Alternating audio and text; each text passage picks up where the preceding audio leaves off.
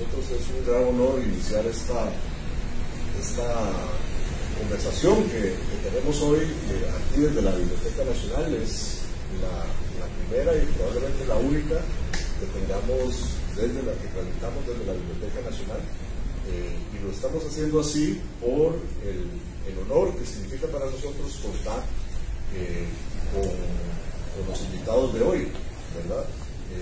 Eh, inicio diciendo que desde el Colegio de Costa Rica celebramos muchísimo esta alianza que hemos hecho con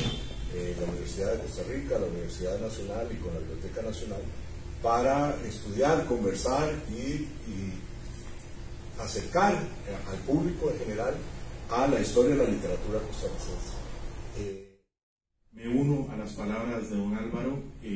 para nosotros es realmente un privilegio compartir esta mesa con tres destacados eh, escritores, eh, como lo es el señor Quentin Cano, José León Sánchez y don Alfonso eh, ¿Cómo surge esta actividad? Bueno, en primer lugar, esta actividad surge como un esfuerzo interinstitucional entre el Colegio de Costa Rica,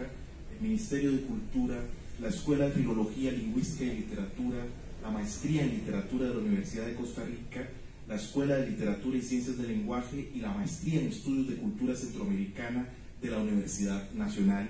que hemos venido desarrollando desde el principio de este año una serie de conferencias dedicadas a la crítica y a la historiografía literaria costarricense.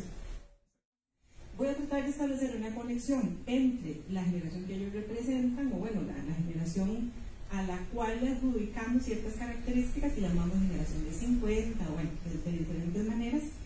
eh, y lo que había antes, de 1940 y algunas otras cosas, para tratar luego de caracterizar eh, esta generación de ellos.